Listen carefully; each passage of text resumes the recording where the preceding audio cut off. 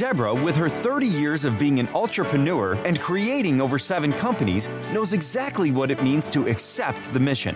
When you make that decision, when you accept the mission to become a solopreneur, to take yourself and your talents to market, then you embrace a life of not only unlimited possibilities, but also the unknown. It's an elixir of fear and bravery that only someone who's taken the leap really understands.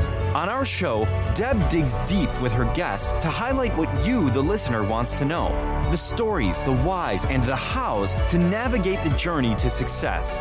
Get ready to hear from some of the most incredible mission takers from Generation Z to Boomers. So sit up, perk up, and get ready to be blown away. Now, here is your host, Deborah Drummond.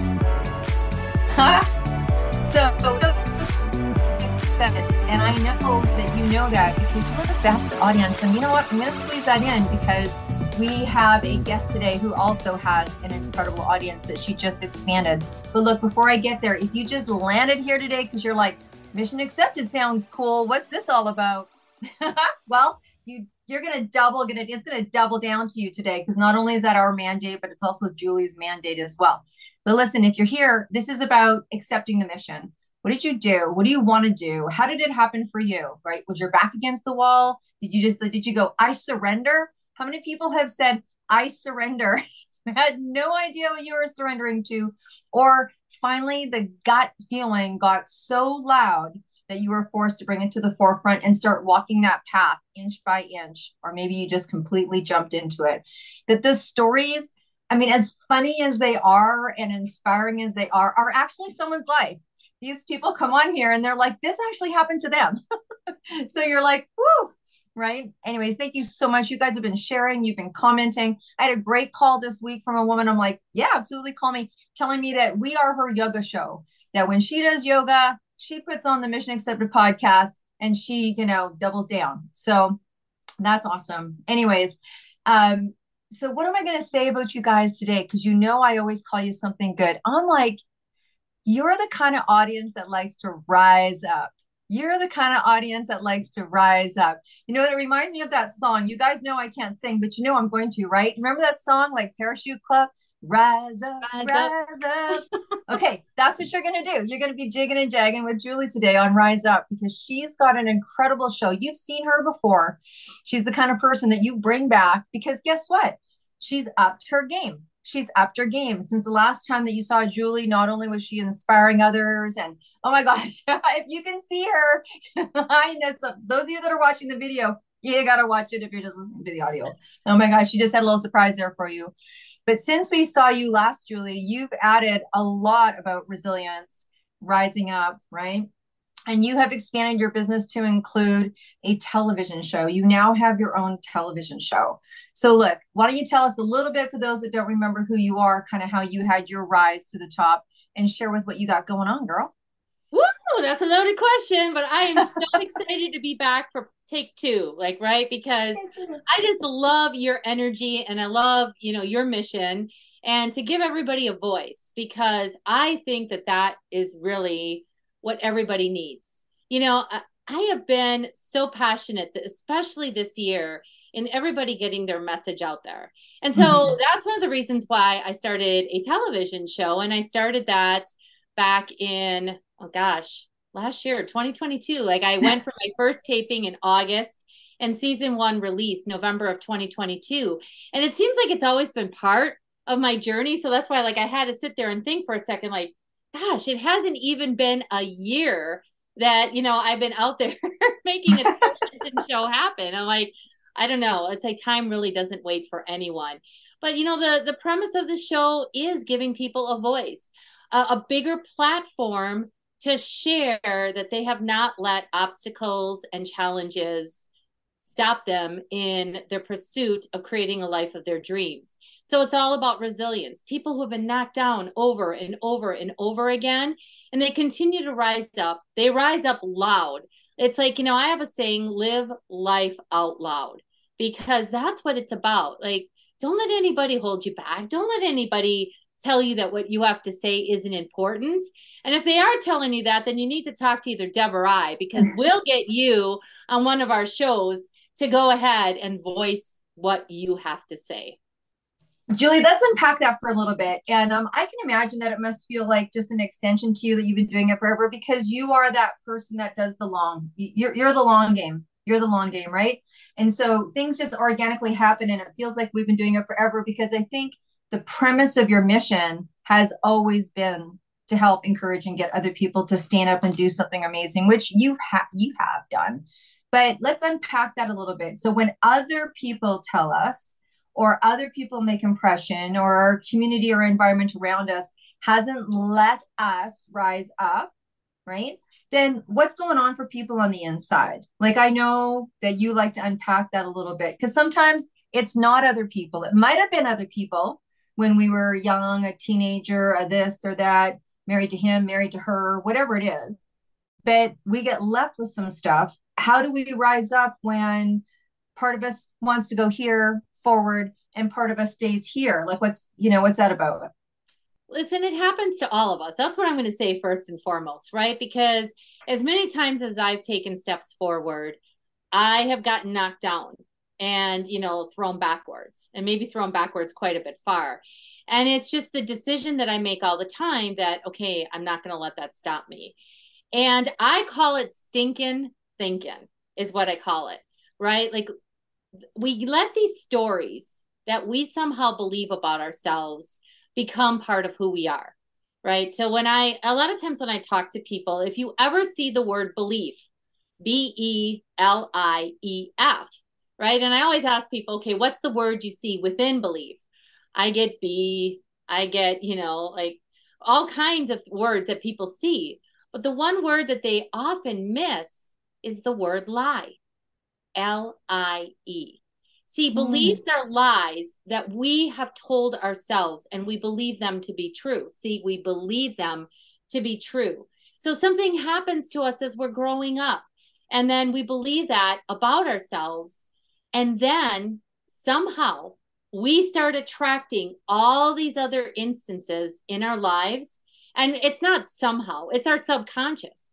Our subconscious, all of a sudden, is designed to protect us. So it starts finding stories and situations to make that set in stone. So, what do I mean by that? Okay. So, when I was younger, I was told by my father, if you're going to cry, I'll give you something to cry about.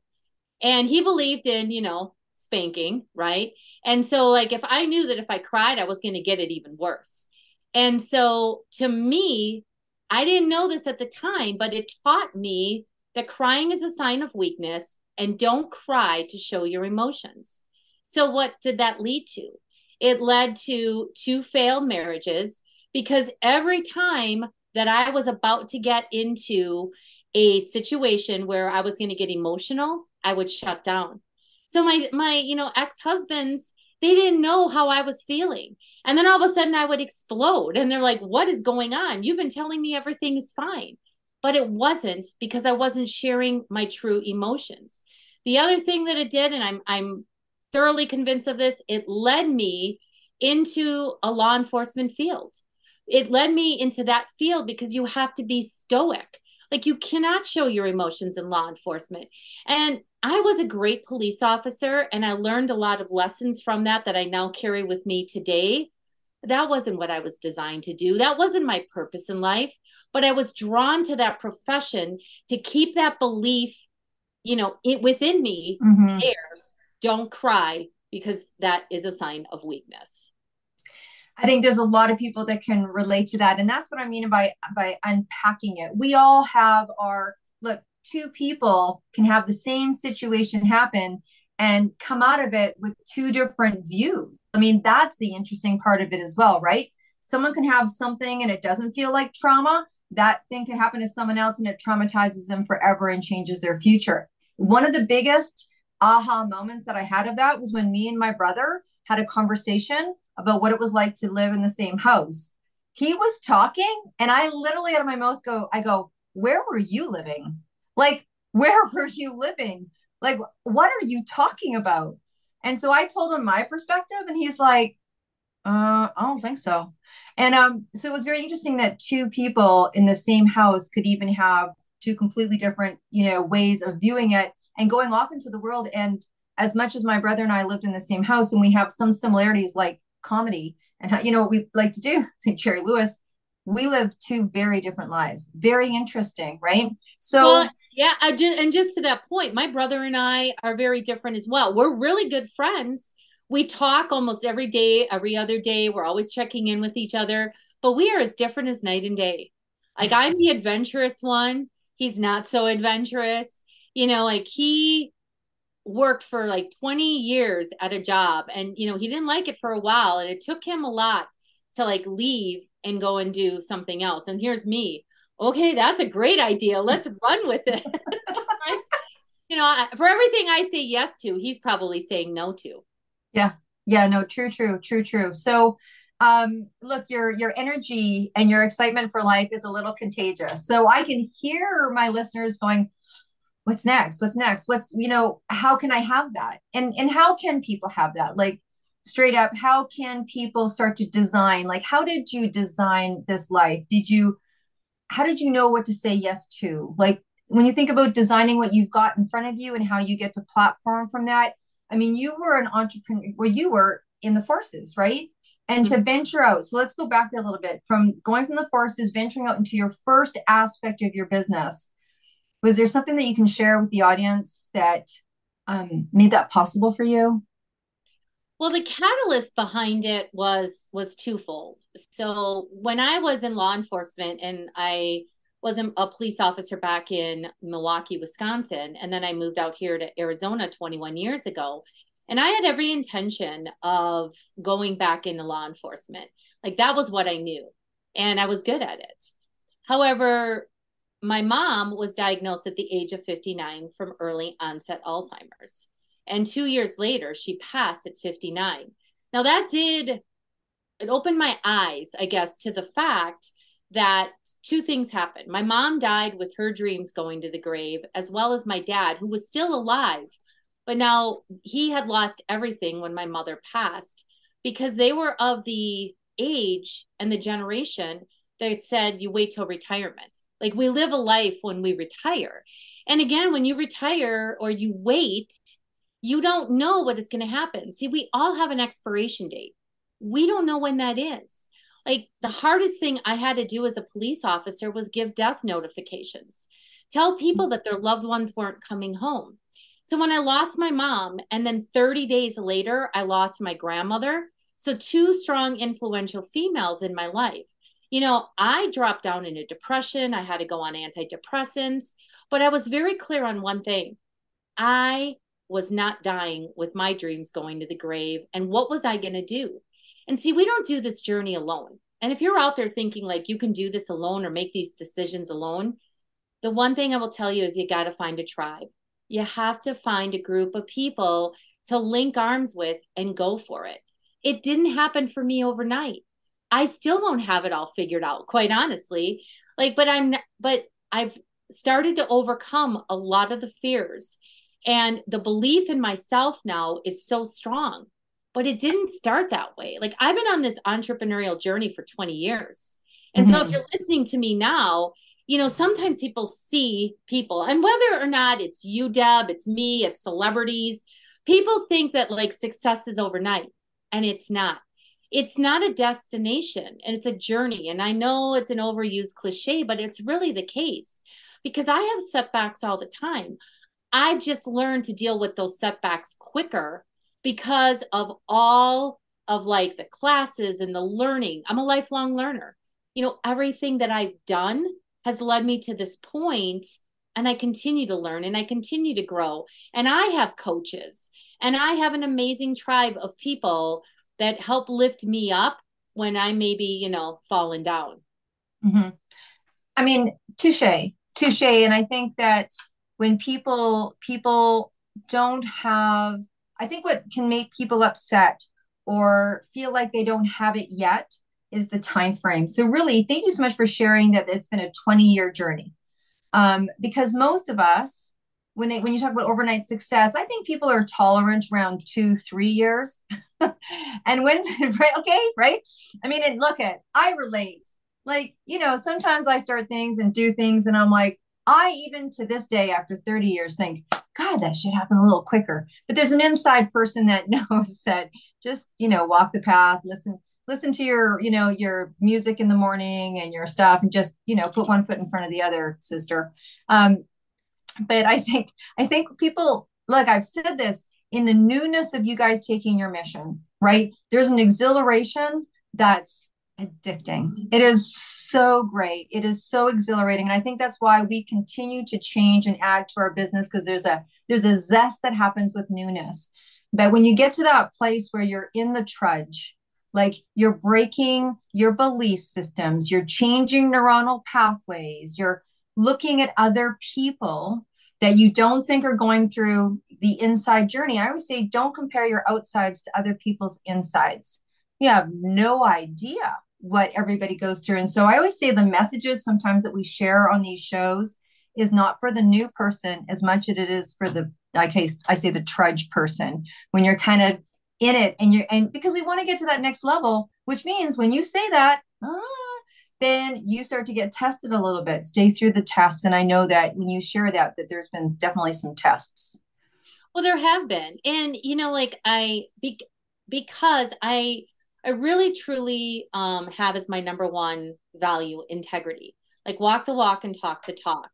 I do not like you know coach anybody on something that I myself have not done or I'm not willing to do.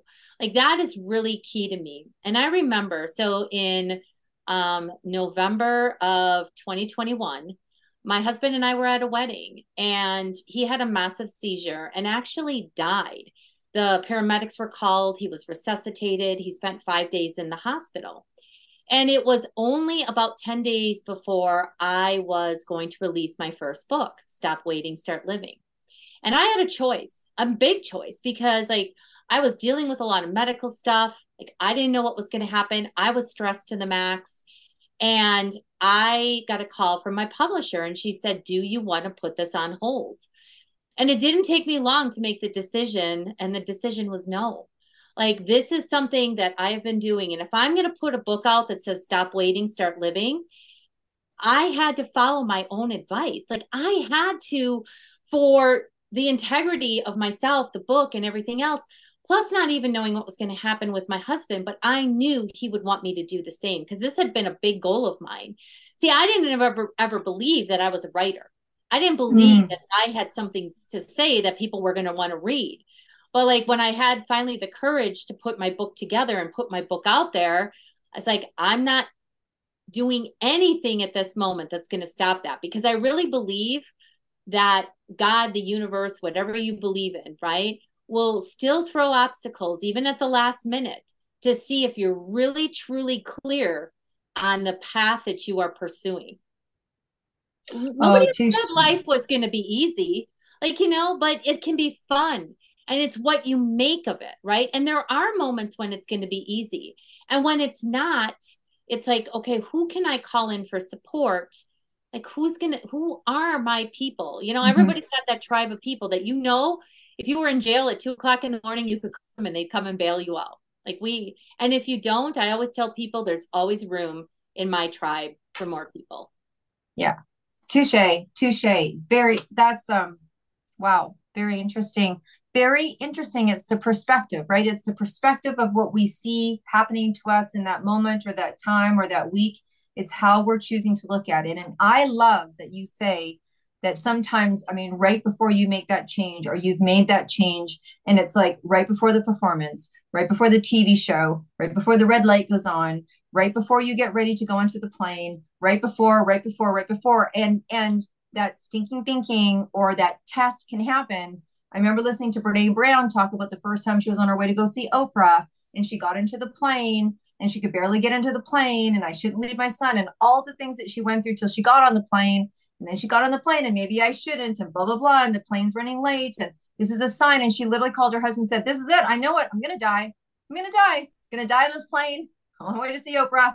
I'm going to die. The plane's never going to make it. And I should be home picking up Timmy or Tommy or whatever it was. Right. And he's like, You're crazy. And she was so crazy that the person sitting beside her said to her, Do you, do you want a drink? Like, would you like me to get you a drink? And the plane hadn't even gone off the tarmac. yeah, right? I mean, here she is just about to go do whatever it is that one does when they go meet Oprah. And she was like convinced having a meltdown on the plane so that a stranger said, Would you like some alcohol? right? That's that story reminds me of. But look, look, if you guys, you, if you haven't heard Julie before, and I think you're getting a sense of Julie, she's going to come speak. And you guys already know about the stand up, speak up, show up. And she's going to be speaking on stage very soon at that. She's also going to be in the book, the 262 Mission book. She has a TV show. You have your own podcast. Look, speaking to the degree that you speak and with with the proficiency and profoundness of what you say, what would you say to someone that has not or wants to speak get onto their first kind of stages. I mean, you're out there, girl. You're out there. And what do you go through before you get out there? What can they do to be more comfortable being seen? A couple of things like, you know, dropped in as you were asking me that question. First and foremost, ask. Ask for what you want. If you don't ask, you don't get. And if you don't know the path that you are to take, there are so many people that have gone before you that will help you yeah, I mentor people on speaking all the time. And, you know, when it comes to speaking, I often tell people, especially with their audience, your audience doesn't know what they don't know. Like you're the expert on the on that message and it can only be delivered by you. So whatever you say is going to be perfect in that moment. And I know for introverts, you're like, oh my God, this woman is crazy because I, you know, like I break into a sweat just at the thought of like talking in front of an audience, right? but it's taking the first step. It's always about taking action. You know, Mel Robbins wrote a book, and I'm sure that you know it. It's like, you know, the five second rule, right? You a thought comes into your mind. You have less than five seconds to act upon that. Otherwise, it's just a passing thought. It's all about taking the action. It's stepping into the fear, right? I mean, it's not an easy place to be again, but like often I tell people go to worst case scenario. Like, what's the worst case scenario that can happen? And if it's not death, because they say that public speaking is like the number one fear, come on, it's really death. You know, it's like, you know, but if it's not death, then like just, you know, find somebody that's going to help you to figure it out. There are so many people out there. There's so much free information, there's so much free content. And there are so many people like you, Deb, like me, that have a heart to help and serve we're not going to give it away forever. But at the same token, too, it's like just reach out. I've always got at least 30 minutes, you know, to give to you to see, you know, all the different ideas, all the different things that you can, you know, that you can do. See, because mm-hmm. that's the problem. And you know, you know, I love these glasses too, right? yeah, I do. You guys that are listening to audio, you've got to tune into this. Yeah, she's got some groove. All right. So the reason I'm known for my googly eyed glasses, and I, and, you know, because it's not only fun, but it makes a point. See, we all have a perspective, right? And we're so stuck in our perceptions and our blinders. And there are people out there like Deb, myself, other coaches, other experts that are able to look at you from a 360 degree view. We're able to see things for you that's not possible. We're I always, always have like a million solutions for any given problem. There's an infinite amount of solutions for anything you're facing. And that's why, again, I get on this bandwagon about people sharing their story because there is somebody out there listening and saying to themselves, Oh, that's great for everybody but me. Like, I, there is no one for me. Trust me. Everybody has, like, somebody's out there. We've all been through something. Like, you know, I mean, I am, you know, almost 15 months into sobriety, right? Like, I mean, I have lived a life where, you know, a lot of things that happen that I'm not too proud of always happened when I was drinking. And so when I made the decision for me that it was the best, ver- I wanted to be the best version of me, that meant leaving alcohol behind. And it's been the best decision that I've ever made, right? However, it's like, so uh, yeah so if you're listening in yes, yes i'm an alcoholic right and so there are other people out there listening thinking that they're the only one you know we all have demons we all have baggage we all have something hidden in our closet so it's like that's why i get passionate about being an open book sharing what it is so like if you're out there listening you know, like you'll have at least one person, me, Julie Jones, uh, you know, is in your corner.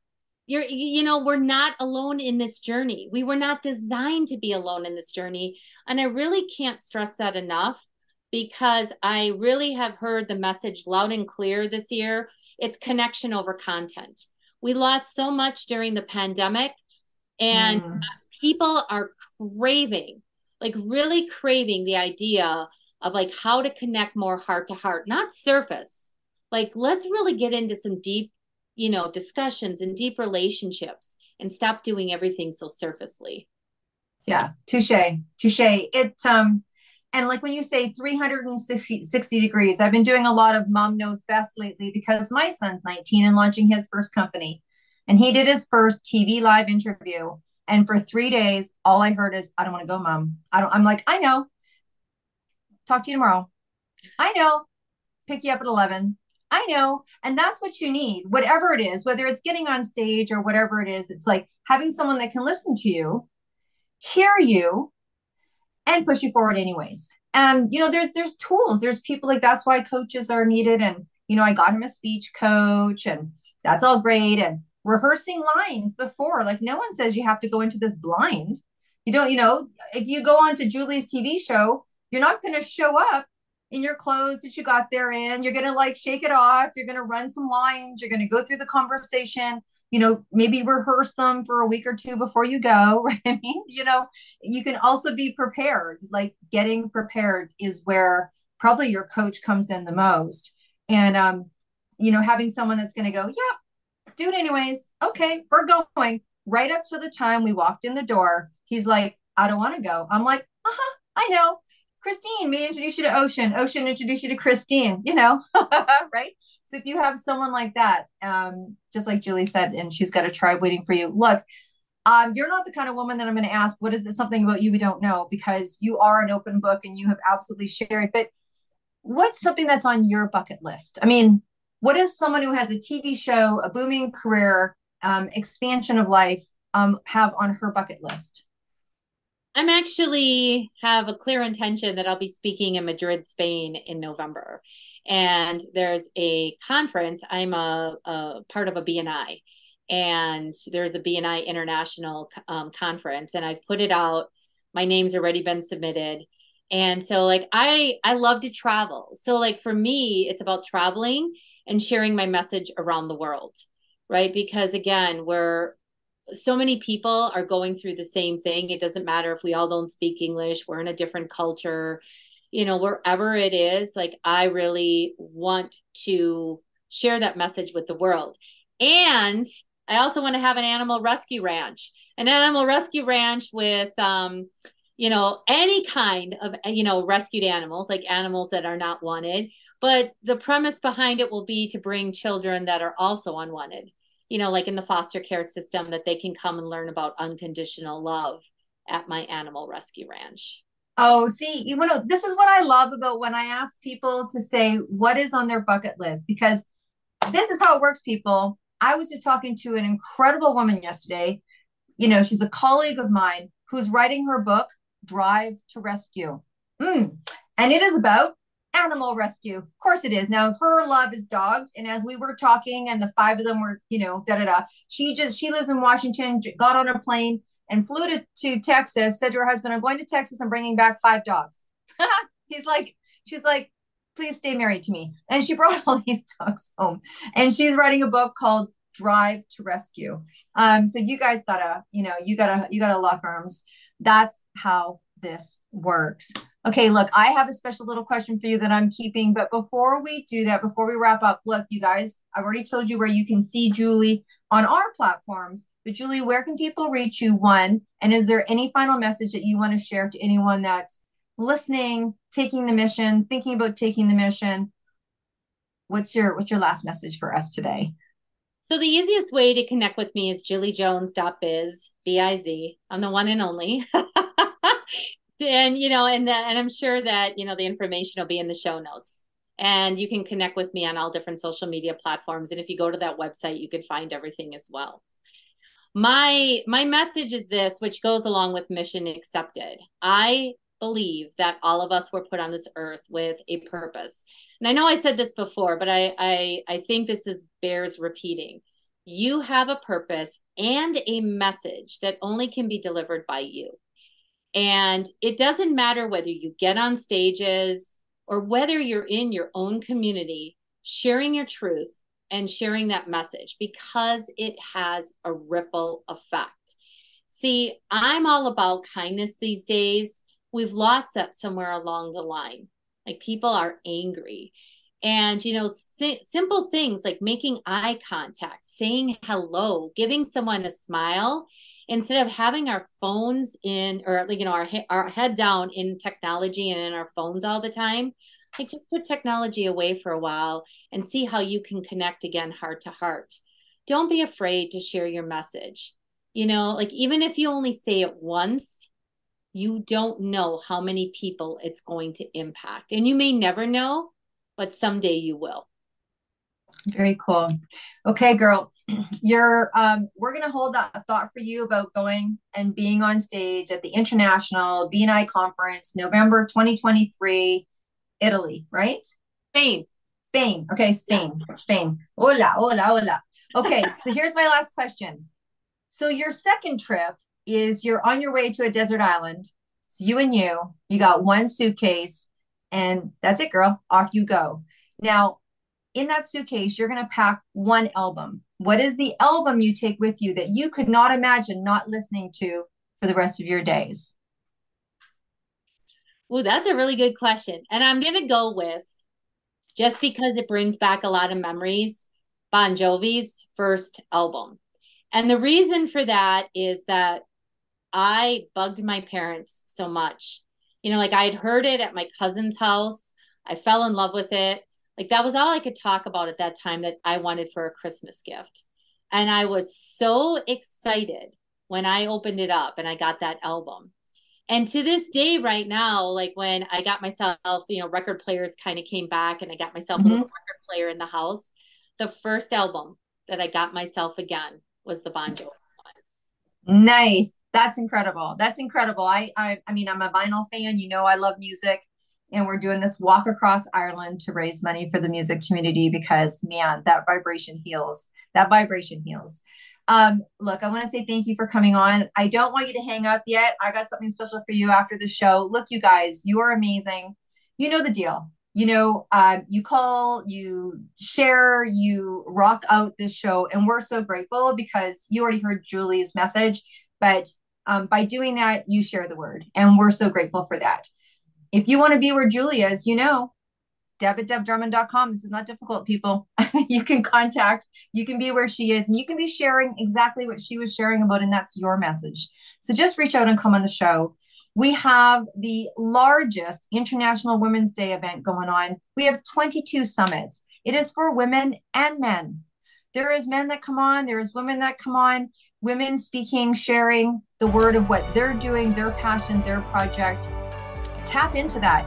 I can tell you it's a one-time project that's lasting two years. So get on, you know, get on the train, get on the train, because gosh knows what we're going to be doing after those two years.